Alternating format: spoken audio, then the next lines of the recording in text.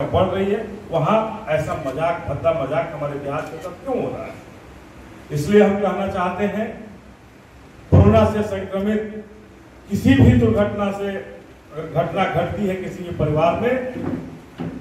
हमारे परिवार में हो, आपके परिवार में हो, बिहार में किसी भी परिवार में हो तो उसके लिए सीधा सीधा अगर जवाबदेह होंगे तो चुनाव आयोग, और मैं तो करूँगा, सीधा मुकदमा करना चाहूँगा कि 302 का मुकदमा मैं दायर करूँगा चुनाव आयोग पर, भारत की सरकार पर और बिहार के मुख्यमंत्री नीतीश कुमार। दूसरी तरफ़,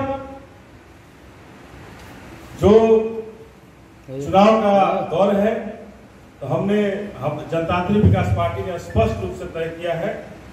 कि 243 सीट पर लड़ने की तैयारी, अगर चुनाव समय पर भी हुआ हम 243 सीट पर लड़ने का अपना रखे हैं कि 243 सीट पर हम लोग चुनाव लड़ेंगे। और जनतांत्रिक विकास पार्टी का चुनाव चिन्ह पहले सिलाई मशीन हुआ करता था, लेकिन अब चुनाव आयोग के द्वारा बदल करके उसे ईट छाप मिला है और ईंट छाप पर हम लोग बिहार के 243 सीट पर चुनाव लड़ना चाहते हैं। तो 243 सीट पर जो चुनाव लड़ेंगे, हमारा ईट छाप, हमारा चुनाव चिन्ह होगा जिस चुनाव चिन्ह पर हम लोग चुनाव लड़ेंगे और 243 सीट बिना किसी गठबंधन के हम लड़ेंगे। और जिस तरह से नीतीश कुमार के 15 साल के शासनकाल में नीतीश कुमार ने बिहार को पीछे ढकेलने का काम किया है तो हमारी जनतांत्रिक विकास पार्टी की तरफ़ से 15 साल का 15 सवाल एक सीरीज़ हम लोग शुरू कर रहे हैं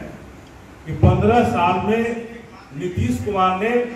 बिहार को कैसे पीछे ढकला है किन किन परिस्थितियों में पीछे ढकला है और हमेशा